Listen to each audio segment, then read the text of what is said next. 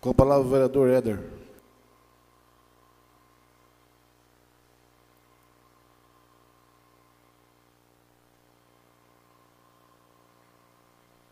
Boa noite, presidente, aos nobres pares e dias aqui presentes, ao público que nos acompanha pela internet e aos que estão aqui pessoalmente. Presidente, essa questão aqui dos regimes de urgência já virou chacota faz muito tempo, né?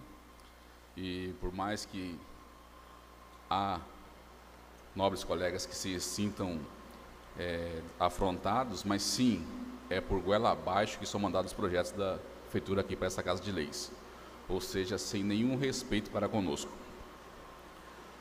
Outra menção que eu gostaria de mencionar aqui, de forma pessoal, pública, é, a respeito da suspensão da lei do piso salarial pelo o então ministro da Justiça Dias Barroso. Essa suspensão ela fere um reconhecimento importante à classe da enfermagem, uma classe que trabalhou, lutou, morreu, ajudando sempre ao próximo. E ontem amanhecemos com a incrível notícia de uma suspensão mas também que na próxima sexta-feira será votado em plenário se essa lei será ou não respeitada.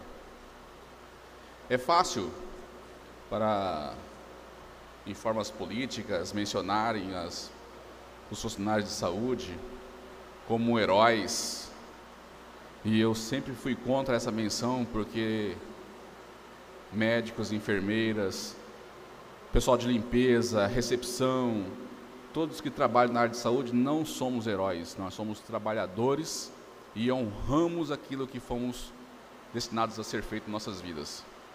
Então é só isso a minha lamentação pela decisão do ministro Barroso. Muito obrigado.